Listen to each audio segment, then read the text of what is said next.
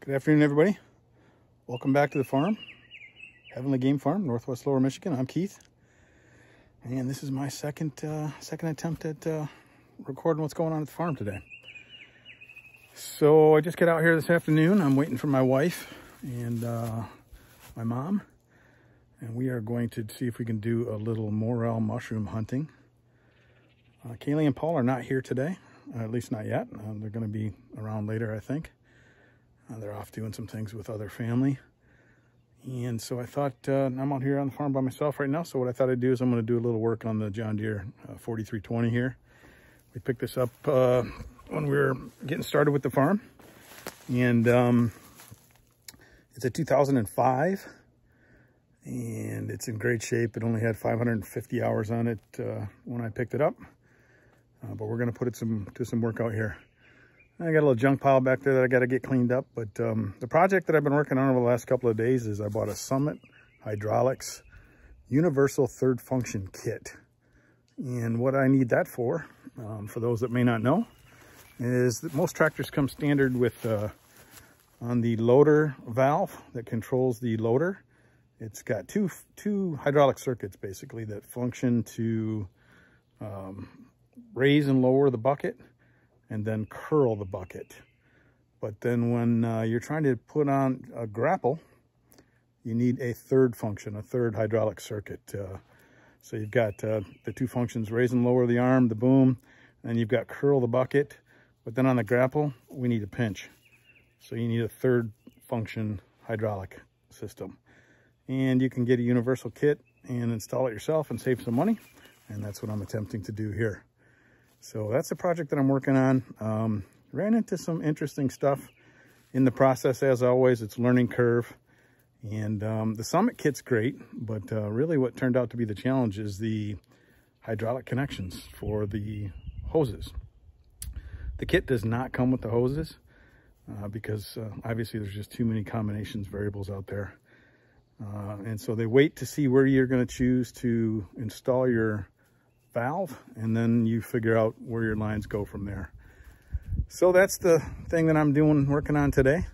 Uh, for what it's worth, I picked up this tractor from uh, GoodWorks Tractor. He's an online dealer. Uh, was great to work with. And he's actually the one who also pointed me to the uh, Summit Hydraulic Kit. So I'm going to show you um, a little bit about the about the lines and the attachment here that we're working on. So um, let's take a look. So when I purchased the tractor, I also purchased this uh, grapple attachment uh, from GoodWorks Tractors. And um, this is a Worksaver. And I forget the model. It's uh, it's the larger one that's uh, designed to go on the 4 and 5 series uh, John Deere's. And um, looking forward to really putting that to use out there in the property. This, uh, it comes with hoses built in. They're through the tubes for a little protection. And then this is where the fun starts. So right in here, uh, this hodgepodge of connectors is the work that I've been doing over the last week or so. Um, the big challenge is, uh, at least for me, um, having never done this before, is uh, getting uh, these hydraulic lines and the fittings that you need to make the unit work. And it's extra challenging when uh, your farm store, your local farm store is low on supply for couplers, uh, basically because COVID, uh, there's a lot of missing parts. So we had to kind of hodgepodge some pieces together in order to get some of these connections uh, uh, to work, but I think we're getting there. So I run my hydraulic lines along with the existing ones that are on the tractor here. Um, and uh, just kind of route them through the existing sleeves uh, which is nice, works out fine. And then uh, down in here is where the new valve is. So thing that you're looking on the back side here uh, is the Summit valve. Uh, you find uh, your preferred mounting place. In my case, it uh, worked out great to mount it near the existing hydraulic connections for the loader. And so um, mine mounted up nicely here. So on the existing, you'll see that there are four lines coming off, heading up towards the, uh, uh, the loader, and that uh, operates the lift and the curl. And then the third function kit is going to be operating that uh, that pinch that we talked about. So, um, so far not too bad. Got a little bit of left, a little bit of work left to do. I'm going to be putting on the um, new controller on the joystick, which adds that uh, that third functionality for the pinching function. And so we got to add the the the new uh, controller on top, replacing the standard bulb here on the top of the uh, loader arm. And uh, so we got to replace the, the, handle and then we got to wire it into the uh, out uh, into the electrical, into the fuse box and get it powder, powered up.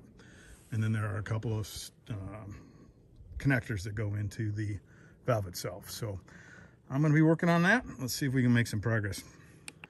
All right, here's another look at the hydraulic valve. Uh, third function that I've uh, worked on installing here. And you can see that it's just kind of mounted up against uh, or behind the existing hydraulic uh, bracket that was here standard with the tractor. So you got the four lines coming off. You got your green, yellow, red, black, and um, those are the standards. And then these two right here are the new coming off of the uh, Summit valve. Uh, those are fed to the front where they're going to power the uh, pinch function on the grapple.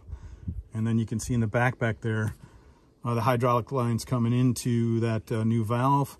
And then this is the control solenoid right here uh, with the two electricals that I'm going to be working to hook up here pretty quickly. Um, but I'm going to let you in on uh, extra challenge that I've had. Um, and I think what it turns out is that the proprietary issue with John Deere uh, with uh, the connector that goes into their um, uh, loader uh, control valve.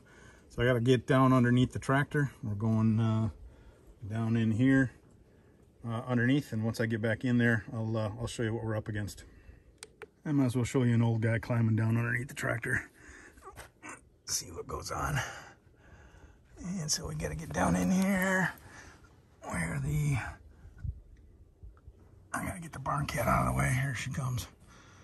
Um, gotta get down in here underneath the tractor. And we'll get down up in here. All right. Uh, now the camera seems to be going a little goofy, but that's okay. So, let's see if I can straighten up the camera here. Give me a second. All right, so we got the camera straightened up a little bit. I'm laying flat on my back underneath the tractor. And what you're, what you're looking at here is the control valve for the loader.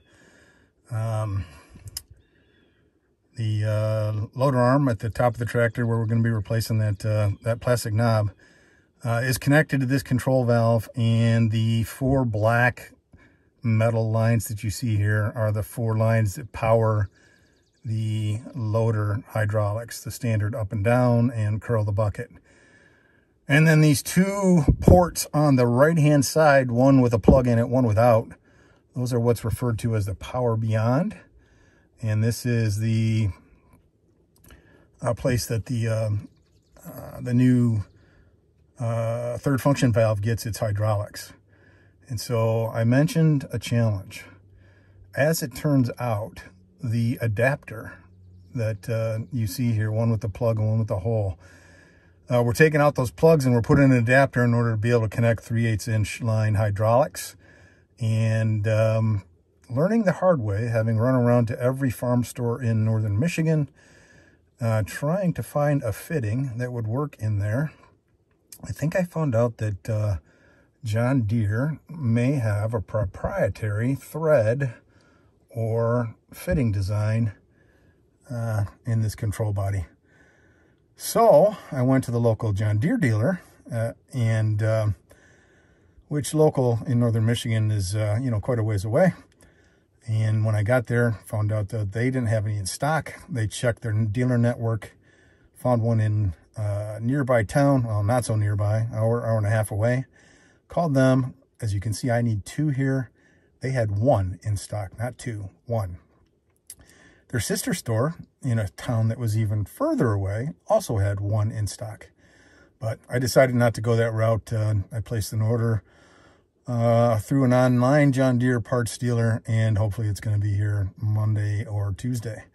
So with that, I should be able to complete the installation and uh, finally get the grapple up and running. So if you're going to take on the similar project, just know that the fittings here that you're looking at, if it's a John Deere, very likely the first fitting coming out of the um, loader valve is likely proprietary. Um, at least that's what I found in my case. Now, there may be some of you out there that are far more experienced and you're going to laugh and say, oh, no, no, Keith, you could have easily done it with this. But uh, I tried uh, five or six different trips to the store, four or five different parts, and I could not get it to work. So finally gave in and went and uh, got the, uh, the John Deere version. So uh, like I often say, live and learn. And uh, perhaps I can save you a few handful of trips to the store and you can go directly to your John Deere dealer first. So I'm going to see if I can get my uh, somewhat overweight tush out of here uh, and get back to work. All right, got the camera set up. I'm going to get after working on that uh, new control knob with the new pinch function. Uh, we're going to be hooking up the knob and uh, getting it connected to the fuse box and also to the control valve solenoid. And then if you listen carefully, well, you may not hear it because I'm going to move over to time lapse, but uh, as I'm preparing here, there is a male turkey uh, gobbling off in the distance here. Uh, the rustling you hear down below is just a barn cat, but uh, off in the distance you can hear you can hear the turkey. So I'm going to stop for a second and see if we can pick it up.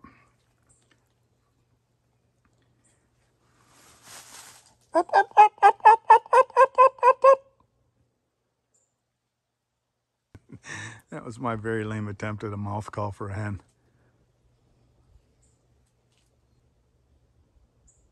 All right, we'll worry about we'll worry about turkeys later. Let's get uh, let's get on with the work here.